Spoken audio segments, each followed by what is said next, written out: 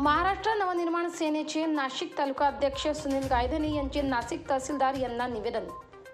शासनाने महाराष्ट्रातील शेतकऱ्यांना सरसकट एकरी दहा हजार रुपये मदत जाहीर करावी. त्यासाठी नाशिक तहसीलदार नरेश कुमार बहिरम साहेबांना निवेदन देण्यात आले. त्यात नमूद करण्यात आले आहे चालू वर्षी अवकाळी पावसाने शेतकऱ्यांचे अतोनात नुकसान झाले आहे. नुकताच खरीप हंगाम सुरू होत आहे. आणि त्यासाठी शेतकऱ्यांना मशागत पेरणी खते बी बियाणे याकरिता शासनाने एकरी दहा हजार रुपये सरसकट मदत करावी अशा मागणीचे निवेदन नाशिक तालुकाध्यक्ष वतीने देण्यात आले आहे.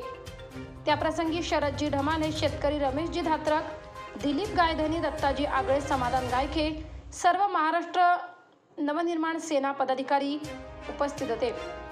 नाशिक लोकशाही न्यूज ब्युरो रिपोर्ट नाशिक.